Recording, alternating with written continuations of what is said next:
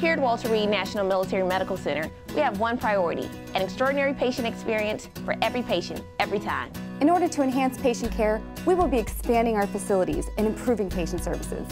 During this construction phase, our staff is dedicated to providing excellent service without any interruptions. Our care will continue as it always has, creating patient experience at the center of everything we do. Every patient, every time. Every patient, every time. Every patient, every time. Every patient, every time.